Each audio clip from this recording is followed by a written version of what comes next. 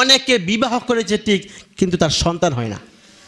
এমন লোক আছে, বিবাহ করেছে ঠিক, কিন্তু তার সন্তান হয় না। পরে গিয়া মাজারে আর বাজারে দৌড়াদৌড়ি করে। আল্লাহ, মাজারে বাজারে গিয়া সন্তান চায়। এ ভাই, যাদের সন্তান হয় না, আপনারা সুরা ফুরকানের চুয়াত্তর নম্বর আয়াত পাঠ করবেন। রব্বানা হাবলানা মিন আজওয়াজিনা ওয়া যুররিয়াতিনা কুররাতা আয়ুনি ওয়াজআলনা লিল মুত্তাকিনা ইমামা? দেখবেন এমন সন্তান ওই দিয়েছে আল্লাহ তালা দেখবেন কিসের সাকিব খান আর সালমান খান, সালমান শাহ, কিসের বিশ্ব সুন্দরী ও সুরিয়া আরে কিসের খালেদা জিয়া? এই দোয়া পাঠ করলে আল্লাহ এমন সন্তান দিবে।